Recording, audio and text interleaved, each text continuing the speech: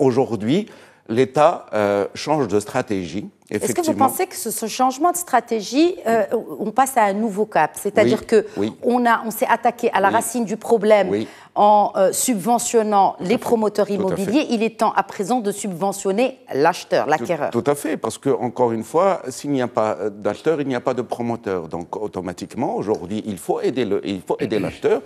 Depuis plusieurs années, euh, moi, je défends l'idée aussi mhm. de, subventionner même les taux d'intérêt hein, des, crédits. Mhm. Et aujourd'hui, ça ne peut être qu'une très bonne chose que l'acquéreur puisse aujourd'hui se dire aussi, je peux avoir une ristourne de 30% sur le prix du logement ou 10% sur un logement à, 700 000 dirhams.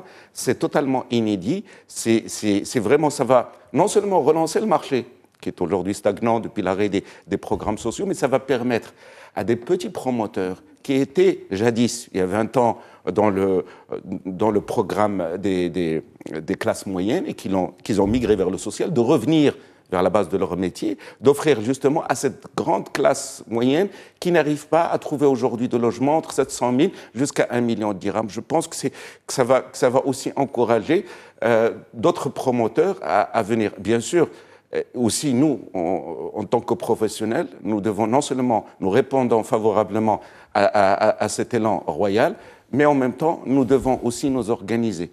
Euh, en matière de traçabilité, en matière de traçabilité des promoteurs, des intervenants dans le bâtiment, etc., pour une plus grande qualité de produits.